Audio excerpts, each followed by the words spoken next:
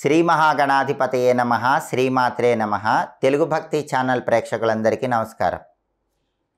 భయంకరమైన అప్పుల సమస్యల నుంచి బయటపడటానికి తొందరగా సొంతింటి కలను సాకారం చేసుకోవటానికి రియల్ ఎస్టేట్లో బ్రహ్మాండంగా ధనం సంపాదించటానికి స్థలాలు ఇళ్ళు పొలాలు వీటన్నిటినీ తొందరగా కొనుక్కోవటానికి ఎర్ర చందనపు దీపాన్ని ఏ విధంగా వెలిగించాలో ఈ వీడియోలో మనం తెలుసుకుందాం.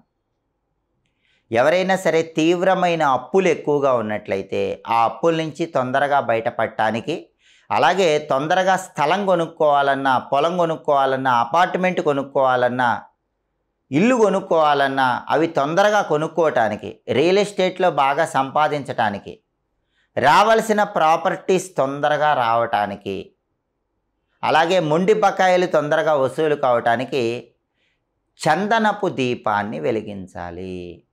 ఈ చందనపు దీపం అనేది ఎలా వెలిగించాలంటే ముందుగా మంగళవారం రోజు మీ ఇంట్లో హాల్లో కానీ బెడ్రూమ్లో కానీ ఏ రూమ్లో అయినా సరే దక్షిణ దిక్కు వైపు ఒక పీట ఏర్పాటు చేయండి. దక్షిణ దిక్కులో ఒక పీట పెట్టాలి. అక్కడ ఏ దేవుడి ఫోటో ఉండకూడదు. ఏ దేవత ఫోటో ఉండకూడదు. అలా దక్షిణ దిక్కులో ఒక పీట ఏర్పాటు చేసి ఆ పీటకు పసుపు రాసి కుంకుమ బొట్లు పెట్టండి.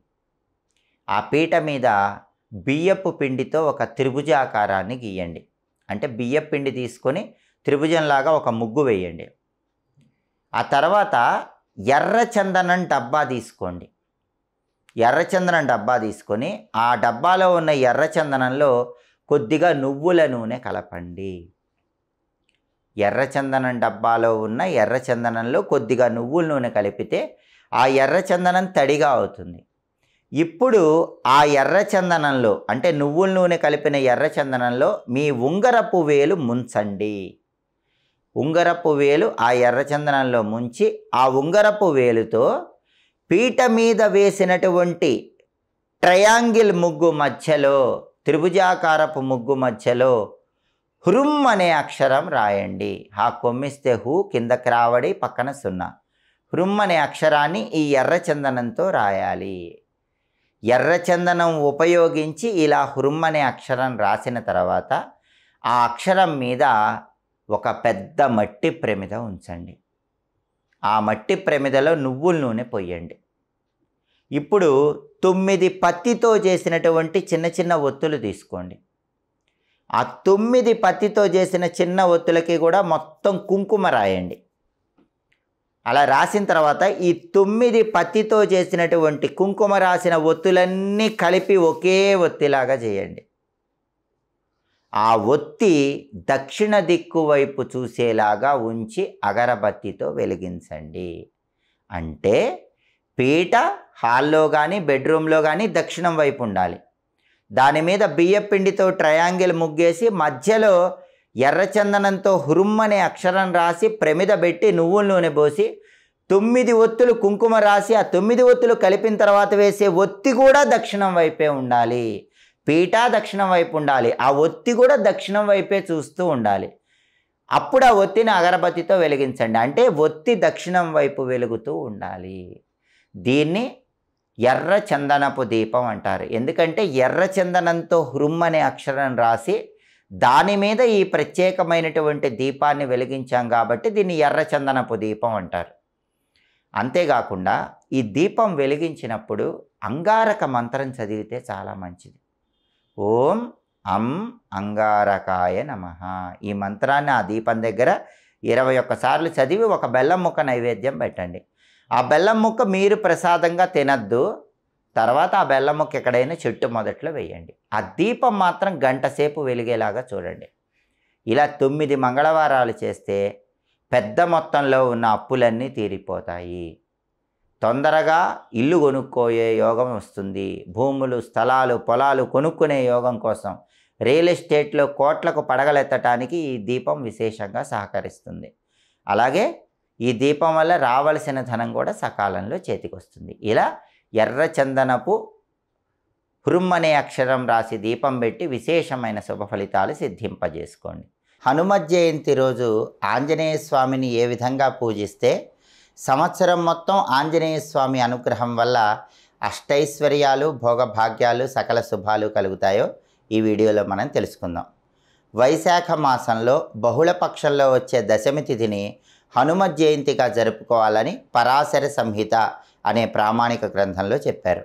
హనుమ జయంతి రోజు ఎవరైనా సరే ఆంజనేయ స్వామి ఆలయంలో ఆయన ఒంటె వాహనంగా ఉన్నటువంటి ఆలయానికి వెళ్ళి దర్శనం చేసుకుంటే అద్భుత ఫలితాలు కలుగుతాయి. ఎందుకంటే పంపా తీరంలో ఇసుక తిన్నెల మీద సంచరించడానికి ఆంజనేయ స్వామి ఒంటెను వాహనంగా చేసుకున్నాడు.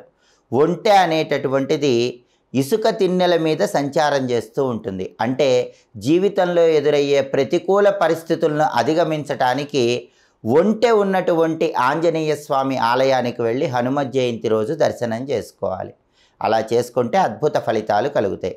అలాంటి ఆలయం మీకు దగ్గరలో అందుబాటులో లేకపోతే దీనికి ప్రత్యామ్నాయంగా ఎక్కడైనా అరటి చెట్టు కింద ఆంజనేయ స్వామి చిత్రపటాన్ని ఉంచి అక్కడ దీపం పెట్టి అరటి చెట్టు చుట్టూ ప్రదక్షిణలు చేయండి. ఇలా చేసిన హనుమత్ జయంతి రోజు ఆంజనేయ స్వామి విశేషమైన అనుగ్రహం కలుగుతుంది.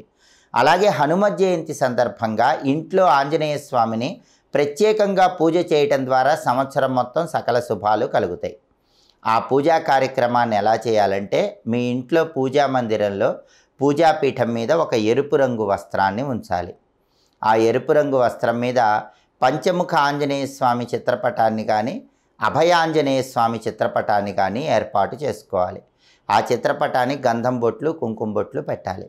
ఆంజనేయ స్వామి విశేషమైన అనుగ్రహం కలగాలంటే వెండి ప్రమిదలో ఆవు నెయ్యి కానీ నువ్వుల నూనె కానీ పోసి తొమ్మిది ఒత్తులు వేసి దీపాన్ని వెలిగించాలి. పురుషులైతే తొమ్మిది ఒత్తుల దీపాన్ని వెలిగించాలి. స్త్రీలైతే ఐదు ఒత్తుల దీపాన్ని వెలిగించాలి. అది కూడా తెల్ల జిల్లేడు ఒత్తులతో హనుమత్ జయంతి రోజు దీపారాధన చేస్తే సంవత్సరం మొత్తం ఆంజనేయుడి అనుగ్రహం వల్ల నరదిష్టి శత్రుబాధలు వీటన్నిటి నుంచి సులభంగా బయటపడవచ్చు అలాగే ఆంజనేయ స్వామికి సంబంధించిన ఒక శక్తివంతమైనటువంటి మంత్రం మనకి మంత్రశాస్త్రంలో చెప్పారు.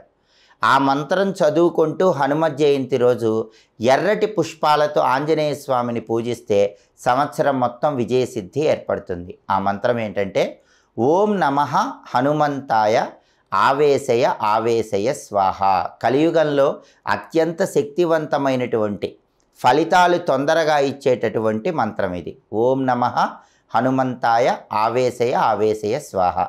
ఈ మంత్రం చదువుకుంటూ ఇంటి యజమాని ఎర్రటి మందార పూలతో కానీ ఎర్రటి గులాబీ పూలతో కానీ ఆంజనేయ స్వామి చిత్రపటానికి పూజ చేయాలి. స్త్రీలైతే అంటే ఇంటి యజమానురాలైతే శ్రీరామదూతాయ హనుమతే నమ అనే మంత్రాన్ని చదువుకుంటూ ఎర్రటి పుష్పాలతో ఆంజనేయ స్వామి చిత్రపటానికి పూజ చేయాలి. అలా పూజ చేసిన తర్వాత ఆంజనేయ స్వామి ప్రీతి కోసం అప్పాలు నైవేద్యంగా సమర్పించాలి. ఇలా చేస్తే సంవత్సరం మొత్తం ఆంజనేయ స్వామి విశేషమైన అనుగ్రహం కలుగుతుంది. అలాగే హనుమత్ జయంతి రోజు ఎలాంటి పూజలు చేయలేని వాళ్ళు సంవత్సరం మొత్తం పట్టిందల్లా బంగారం కావాలంటే ఒక శక్తివంతమైన శ్లోకాన్ని ఆంజనేయ స్వామి ఆలయంలో కానీ ఇంట్లో కానీ కూర్చొని పదకొండు సార్లు చదువుకోవాలి. ఆ శ్లోకం చదువుకుంటే విశేష పూజలు చేసిన అద్భుతమైన ప్రయోజనం కలుగుతుంది. ఆ శ్లోకం ఏంటంటే అసాధ్య సాధక స్వామిన్ అసాధ్యం తవ కింవద రామదూత కృపా సింధో మత్కార్యం సాధయ ప్రభో ఇది శ్లోకం. అసాధ్య సాధక స్వామిన్ అసాధ్యం తవ కింవద రామదూత కృపా సింధో మత్కార్యం సాధయ ప్రభో ఈ శ్లోకం చదువుకొని విశేషమైన పూజలు చేసిన ప్రయోజనాన్ని సిద్ధింపజేసుకోండి. అలాగే హనుమత్ జయంతి రోజు ఎవరైనా సరే ఆంజనేయుడికి ఉద్వర్తనం నిర్వహిస్తే ఆంజనేయుడి అనుగ్రహం తొందరగా కలుగుతుంది. ఉద్వర్తనం అంటే అర్థం ఏంటంటే గంగ సింధూరం తీసుకొని ఆ గంగ సింధూరంలో కొద్దిగా నువ్వుల నూనె కలిపి ఆ గంగ సింధూరం బొట్లు ఆంజనేయ స్వామి విగ్రహానికి కానీ చిత్రపటానికి కానీ అలంకరించాలి. దీన్నే ఉద్వర్తనం అంటారు. ఇలా ఉద్వర్తనం చేస్తే మీకు జీవితంలో ఎంత పెద్ద కష్టం ఉన్నా సరే ఆ కష్టం నుంచి తొందరగా బయటపడటానికి ఉద్వర్తనం విశేషంగా సహకరిస్తుంది. అలాగే ఎదుటి వాళ్ళ ఏడుపు ఎక్కువగా ఉంటే కనుదిష్టి ఎక్కువగా ఉంటే శత్రుబాధలు ఎక్కువగా ఉంటే వాటన్నిటి నుంచి బయటపడటానికి ఆంజనేయ స్వామికి హనుమ జయంతి రోజు లాంగూల పూజ చేయాలి. లాంగూల పూజ అంటే ఏంటంటే ఆంజనేయ స్వామి విగ్రహంలో కానీ చిత్రపటంలో కానీ తోక చివరి నుంచి మొదల వరకు తోకకి సింధూరం బొట్లు పెట్టాలి. కేవలం తోకకు మాత్రమే సింధూరం బొట్లు పెడితే దీన్ని హనుమన్ లాంగూల పూజ అంటారు. అలా బొట్లు పెడుతూ ఆంజనేయ స్వామి నామం చదువుకోండి. శత్రు బాధలు ఎదుటి వాళ్ళ ఏడుపు వీటన్నిటి నుంచి బయటపడండి. అలాగే పిల్లలు మీరు చెప్పిన మాట వినాలంటే సంవత్సరం మొత్తం తల్లిదండ్రులకు అనుకూలంగా ఉండాలంటే హనుమత్ జయంతి రోజు ఆంజనేయ స్వామి ఆలయంలో మీ పిల్లల చేత ఆంజనేయ స్వామికి వడమాల వేయించండి. పిల్లలు సంవత్సరం మొత్తం ఆంజనేయుడి అనుగ్రహం వల్ల చెప్పిన మాట వింటారు. అలాగే శని దోషాలు శని పీడలు వీటన్నిటి నుంచి బయటపడాలంటే సంవత్సరం మొత్తం సకల శుభాలు కలగాలంటే తమలపాకులతో ఆంజనేయ స్వామిని పూజిస్తూ హం హనుమతే నమ అనే మంత్రాన్ని ఇరవై ఒక్కసార్లు చదువుకోండి. ఇలా ప్రత్యేకమైన విధి విధానాలతో హనుమ జయంతి రోజు ఇంట్లో ఆంజనేయుని పూజించటం దేవాలయానికి వెళ్ళి ఆంజనేయ స్వామికి వడమాల సమర్పించటం ఆంజనేయ స్వామి ఆలయంలో ఐదు ప్రదక్షిణలు చేయటం ద్వారా సంవత్సరం మొత్తం ఆంజనేయ స్వామి అనుగ్రహానికి పాత్రులై అన్ని కష్టాలు పోగొట్టుకొని సకల శుభాలను సిద్ధింపజేసుకోండి. ఇంకా ఇలాంటి ఆసక్తికరమైన విశేషాంశాలు తెలుసుకోవాలంటే తెలుగు భక్తి ఛానల్ని తప్పకుండా సబ్స్క్రైబ్ చేసుకోండి.